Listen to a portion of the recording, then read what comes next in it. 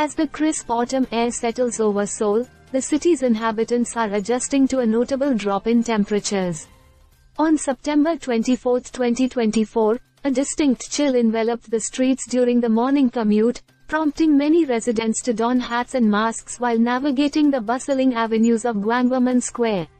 The shift in weather serves as a stark reminder that summer has officially given way to fall, bringing with it a significant temperature variation that characterizes this transitional season. Early in the morning, temperatures hovered around 15 degrees Celsius, that is 59 degrees Fahrenheit, in the central and southern inland regions, with the mountainous areas of Gangwon dipping even lower, sometimes below 10 degrees Celsius, that is 50 degrees Fahrenheit. Such dramatic shifts can lead to an uncomfortable experience for those unprepared for the cool morning air, only to be greeted later in the day by warmer conditions that could reach upwards of 25 degrees Celsius, that is 77 degrees Fahrenheit. This stark contrast highlights the necessity for residents to dress in layers, allowing for adjustments as the day progresses. In the context of this weather fluctuation, the local news has emphasized the importance of being aware of daily temperature changes. As citizens navigate the unpredictability of autumn, the choice to wear hats and masks isn't merely for warmth and health protection but also for practical reasons against the shifting weather. Masks continue to be part of daily attire for many, a carryover from the pandemic era, but now they also serve as a barrier against the sudden chill in the air.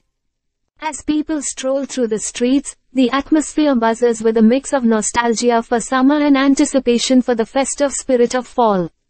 Cafes are filling up with patrons seeking warm beverages, while street vendors are adjusting their offerings to cater to the seasonal change, introducing items that are more comforting and warming. The annual transition from summer to autumn is not just about weather. It's a cultural shift that resonates through food, fashion, and lifestyle choices. The weather forecast predicts that the coming days will maintain this pattern of chilly mornings followed by warmer afternoons. This fluctuation will likely continue to affect daily routines, influencing everything from morning commutes to evening outings. Residents are encouraged to stay updated on weather alerts and advisories to navigate this transitional period smoothly.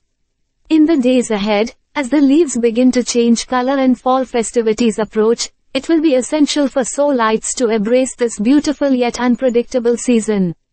The chill in the air invites reflection and preparation for the coming winter, while the warmth of the sun during the day reminds us that change can be both striking and comforting. This season not only marks the end of summer but also signals a time for new beginnings, as the city's landscape transforms and its people adapt to the cooler, more vibrant months ahead. Stay subscribed for more videos.